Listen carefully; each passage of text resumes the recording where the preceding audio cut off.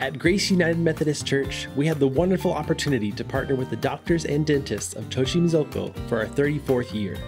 Alongside a church from Arizona, we were able to provide medical and dental care for hundreds of people over the course of a few days.